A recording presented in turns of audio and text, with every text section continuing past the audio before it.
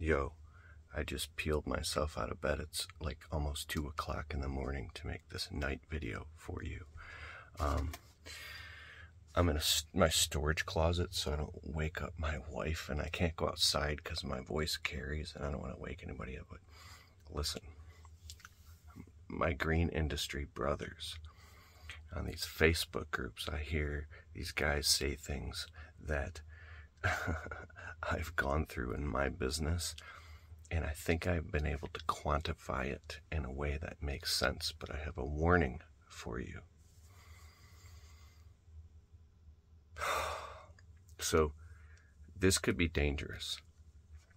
The moment that you wake up and you evolve in your landscaping business, so you're running a service business, a service based business, right? And you have to run it with a servant's heart because you're in a service business and it's taking you. Listen, everything I'm going to say, because if you watch what I'm going to talk about, I promise you, and but I'm warning you, maybe I shouldn't say this because sometimes I'm not saying you, but almost ignorance is bliss, your naivety is bliss, and it makes you work really hard for years and generate a lot of success. Here's what I'm saying, and I've made a lot of videos about this. I'll put, it, I'll put it in the comments below. Know your worth. Okay, you can watch these other videos; they're kind of funny too. But so there's a guy in um, a Facebook group saying from the second he wakes up to the second he's going to bed, he's answering the phone calls, texts, emails, taking care of customers nonstop. He's totally drained, and he's put, posted some screenshots in these groups, if you've been on them, of customers haggling and talking them down, been a customer for years and now he's got to raise the price to run a legitimate business and the customer's like well you used to charge this uh and they'll fire the, the landscaper. Like you dude i've been doing landscaping for you for four five six years and i have to raise the price and, and you're haggling me and firing me? And so these landscapers get so upset and emotional emotionally hijacked and disrespected by it. And and in the comments all the landscapers are like oh i wouldn't put up with that or now it's time to hire a receptionist so you don't have to talk to the customers anymore. And it's heartbreaking when you've been doing work for people. I mean you built this business from nothing. And after you know i don't know how long you've been in the business. Let me know in the comments below what i'm about to say is powerful you've been in this business for years and you know it might be five years has gone by blood sweat and tears and these customers that are your favorite i'm gonna, i have a good ending to this trust me it's really good. And you you you, you know the names of your customer's dog and these they live in big houses and they drive bmws and have vacation homes and, and after five years you know, these are the customers that you, you drive far and you, you think that they actually care about you. And some of them actually do. But you wake up in a cold sweat, almost like if you've been like slapped out of a hypnosis. You wake up one day, whether like you actually wake up, and you wake up to the fact that, oh my God, I've been doing this for three, four, five years like this. I deserve to have a nice life too. I'm pulling up in a truck with rust on the fenders, still living in the same crummy apartment after four and a half years, to these big ass houses and BMWs. Wait a second. What am I doing? I deserve good stuff too. And you do, or you don't. But here's what I'm saying. but you're, to, in the customer's eyes, now, now trust me, some of them, not all of them, you're a nobody you're you're nobody. You think cuz so here's the misidentification. I know exactly what I'm talking about. Listen to me. You have a misidentification that actually helps you because it makes you go work your tail off to grow your business. And some people never pop out of this reality and pop into another paradigm where they grow. Like your mindset gets fixed and you get trapped in a paradigm where years go by and you don't realize this thing I'm about to tell you one day you wake up and say, I deserve more, and then you start raising all the prices. You develop a plan. I'm going to raise the prices on all the customers, new customers, old customers, current customers. I don't care. I have to make more money so I can hire legitimate employees and get and, get, and upgrade my lifestyle and finally get on with my life and grow my business so I can afford to grow my all this stuff comes to you. You have this then now I said some of your customers really do love you, right? But most of them don't. You're just the landscaper, the window cleaning guy, the lawn care guy. And you start raising your prices, they start bucking you and they start firing you. They start dropping like flies. Now, not all of them. There's a mathematical equation that says if you raise the price a certain amount, you only lose 10% of your customers. You end up making more money doing less work. It's all true. I've raised my prices again and again and again and again. I have an abundant little landscape business now that makes me exactly like it's fun. It's a game to me now, right? But I had to go through hell just to get there or here, right?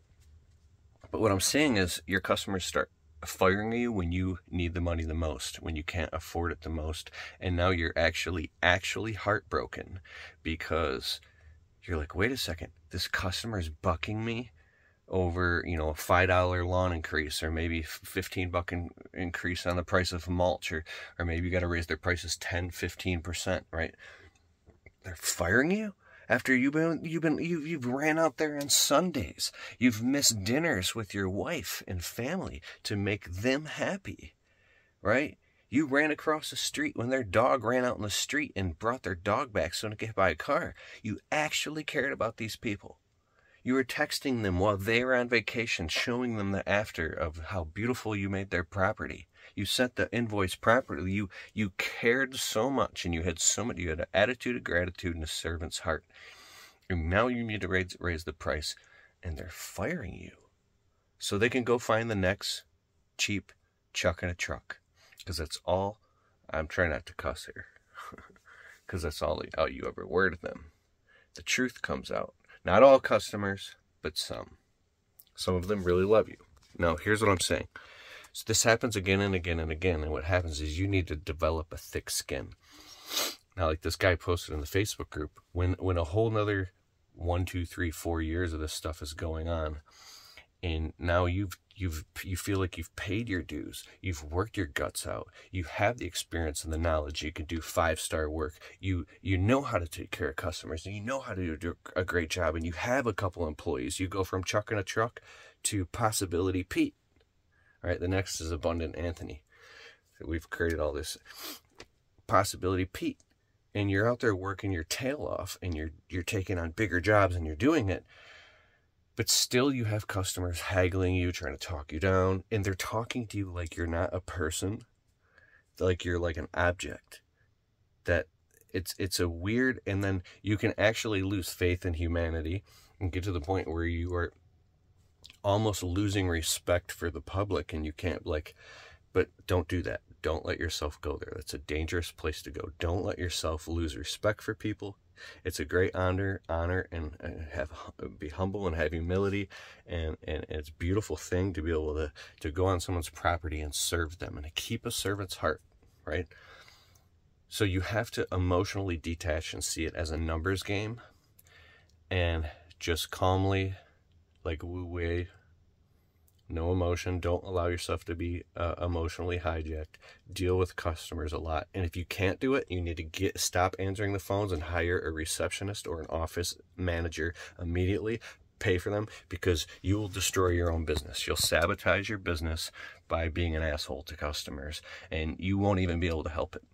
I myself have become so traumatized in the past from this crap that anything that even resembled an energy sucker because there's people and customers and things that give you energy and there's things that suck your energy.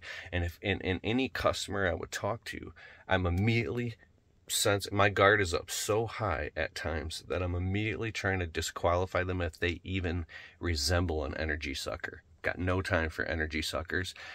Garbage in garbage out. That means if you say yes to something you don't even want to do you're gonna have problems the whole it's it's just gonna it's gonna like like the whack-a-mole game. It's like, so don't even mess with customers like that, right? But here's where, uh, like I said earlier, you pop out of this entire paradigm and it messes up your whole shit. but this is where you move into Abundant Anthony. You got Chuck in a Truck, Possibility Pete, Abundant Anthony. I don't have time to go through uh, all of that, but here's what happens. When you wake up to the fact that, and this is disheartening, it'll mess you up. Oh my God you realize that almost all, not all, but almost all of those customers that you cared about that whole time, and you should, never even cared about you at all. you were just the landscaper or the lawn care guy. Full stop. It was all in your head. All the blood, sweat, and tears and caring.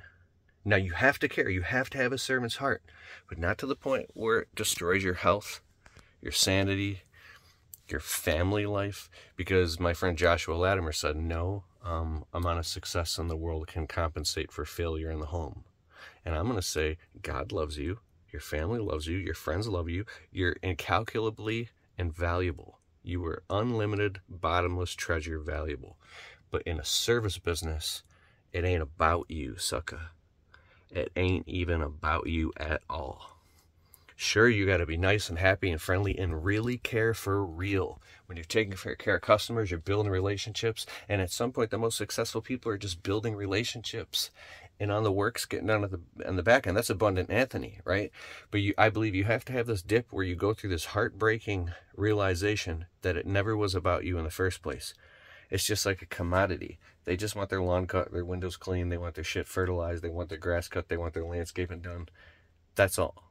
They don't even care about you. They never did. They just want their stuff done. So when you make it all about you and wait a second, I deserve more, you become, you start shaking your fist.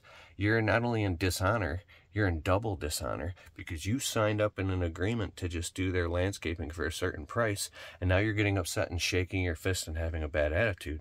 You're in double dishonor because that's not how this works. You just made the misidentification, your identity. You have an identification, which is fine because it makes you work really hard, right? It's it's kind of a lie, but it's good for you. You have a misidentification of thinking that it's all about you and you deserve more. And wait a second, I deserve to make more money so I can grow my business and upgrade my lifestyle. And all these people live in these nice houses. What about me? I, and you could become vindictive like in, in your energy. I don't know, really know, not actually vindictive, but just like like it's more it becomes transactional to you it becomes about what can you get like you as soon as you're you're walking on the phone with the customer or walking the property you're immediately thinking about how much money you can make like i went through a little phase of that and it was not healthy because my heart left my business for a little time because I was so angry because I wasn't making the money that I didn't want to make. And I got to the point where I was like, I don't care. I'll, you know, I always did a good job and I always took care of my customers, right? And I always made sure, but my energy was off and I didn't like the way it made me feel. That wasn't me. That wasn't Keith. Keith loves his landscaping business. Keith loves taking care of customers. Keith loves God. Keith, and I didn't like when I got so angry at my landscaping business that I started taking it out on myself, which started me having a bad attitude towards my customers and realizing, like, why the hell is my closing rate going down and I'm not selling a lot of jobs? I'm good at sales. I've done, sold thousands of jobs. It was because I had a bad attitude and I didn't even realize it. So then, who, not how?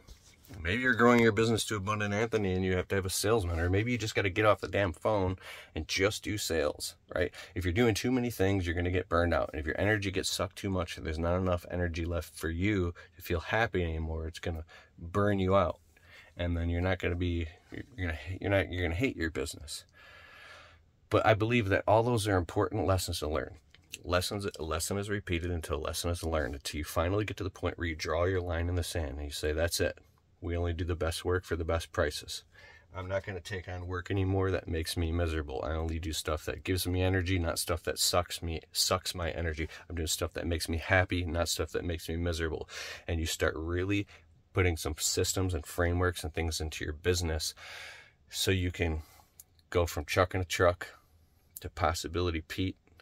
And then now you can evolve into abundant Anthony. And that's when the customers start showing up that are the really good clients who stick around when you raise the prices. They actually care about you for real and they want to see you successful and they, they think it's cool that you're driving a brand new truck and they, and they, and they appreciate you and those customers start showing up when you grow inside because you get what you put out. That's my friend Stan Genadek, the Dirt Monkey said, whatever you put out is what you're going to get back, right? So when you put out a confident energy of someone who has resolve, subconsciously and consciously, you've come to resolutions in your life and in your business. your voice changes. I can hear it in my voice right now. and it doesn't come without a lot of pain and suffering. Um, and I'm nowhere near where I want to be at. Where are you at? How long have you been in your business? Let me know in the comments below. Yeah, dog. All right. I, I got to go get some sleep. I'm preparing to do a speech in Atlanta um, next week. I'm excited, man this entrepreneurial journey has been a dream come true. This YouTube channel has been a dream come true. I want to let you know I care about you. I acknowledge you. I appreciate you. Um, I do get like hundreds of people messaging me, emailing, commenting on Facebook, Instagram, YouTube. If I don't respond, it doesn't mean that I haven't read it. It's just I have so many messages coming in, but I see you and I will get back and respond to the comments or come to a live event. I would love to shake your hand. Um, but I care about you. I care about your journey. And um, yeah. Oh, by the way, if I just created a free three video series, if you're new in the business or maybe even your first year and you want to learn how to get it started right, how to market your business and how to um, deal with a fully packed calendar of landscaping clients, how do you deal with that amount of stress? I created a video series. It's totally free. Go to keithkalfas.com slash landscaping series one word. I'll put a link in the description below. You can sign up and watch it. It'll also put you on my email list or when my podcast episodes come out. It'll it'll be like hey new podcast out and stuff like that. You can listen to it and uh, stay in touch. Hit the subscribe button. I hope that served you my friend. Develop thick skin and have a servant's heart